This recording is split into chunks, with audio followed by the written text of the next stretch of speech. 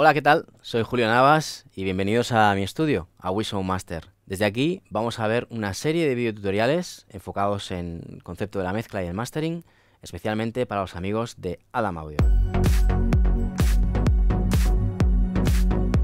Una técnica muy empleada en mezcla es lo que denominamos la compresión paralela o también conocida como New York Compression. En este caso tengo ubicados dos compresores, cada uno con una configuración distinta, que utilizo como compresión paralela. La compresión paralela es básicamente el uso de la compresión mediante un embrio, por lo cual lo que me permite es tener por un lado la información real, los transientes reales, y por otro lado la información comprimida. Normalmente es súper comprimida, incluso en muchas ocasiones con niveles de, cierta distorsión. Esto lo utilizamos básicamente para sacarle más intensidad al sonido, para sacarle más loudness, para sacarle más punch, como queráis llamar. Hay quien emplea, yo por ejemplo en muchas ocasiones empleo distintos tipos de compresión paralela con distintos tipos de, de compresor. Cada compresor tiene unas características distintas, entonces en función de las necesidades que tengo, utilizo un tipo de compresor u otra. En este caso tengo una batería programada con el Abbey Road eh, Drummer. Y lo que voy a hacer es esta batería que en, este canal de aquí, realizar un envío, por ejemplo,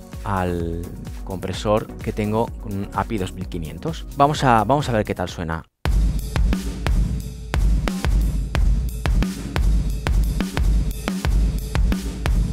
Lo que estáis escuchando ahora es la señal absolutamente comprimida. En este caso estoy utilizando un ataque muy corto, un release muy corto y un ratio exagerado. El concepto de la, de la compresión paralela es esta, es ir a sacar los niveles más bajos del audio y llevártelos hacia arriba. Lo que estoy consiguiendo en este caso, lo que estamos escuchando, es la señal simplemente con su compresión y ahora lo que voy a hacer es sumarle la señal con eh, la señal original. Esto es muy, sobre todo es muy utilizado en material de audio, en material acústico, pero por ejemplo también es muy muy utilizado dentro de la electrónica, sobre todo en percusiones. Se puede utilizar, yo he utilizado con voces, con sonidos principales, bueno, realmente se puede utilizar con casi todo. Hay que decir que muchos sistemas o muchos plugins que actualmente se utilizan para mezcla y sobre todo los que se utilizan para mastering, hay muchos de ellos que, aunque no lo veamos, en su configuración, en su algoritmo, realmente uno de los procesos que están utilizando y uno de los procesos más importantes es justamente la compresión paralela. Pasa que no lo podemos ajustar directamente porque son sistemas bastante sencillos de uso que con un par de knobs justamente lo que están haciendo es darte más intensidad al sonido y una de las técnicas que están utilizando internamente pues es justamente la,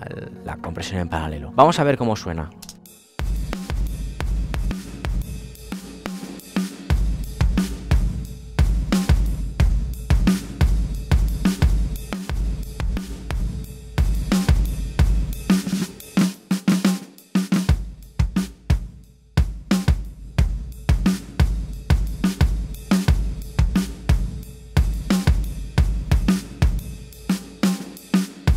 Evidentemente lo que buscamos siempre es el equilibrio entre qué cantidad de, intensidad queremos conseguir para ese sonido en concreto, siempre en función obviamente de la mezcla del conjunto de elementos y qué cantidad de señal es la que quiero originalmente. Como podéis observar, la señal original es la que normalmente me está manteniendo los, transientes y por otro lado, con la señal super procesada, lo que estoy consiguiendo es engordar el sonido. Esto se puede utilizar de mil maneras. Esto quiere decir que, por ejemplo, yo a la señal super procesada luego le puedo aplicar cualquier tipo de proceso, como por ejemplo en este caso un filtro pasa altos. Por lo cual, de la señal super procesada lo que me estaré quedando es la parte aguda.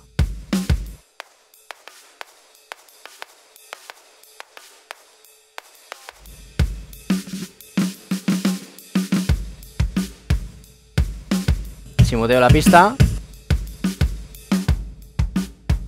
¿notáis la diferencia de brillo?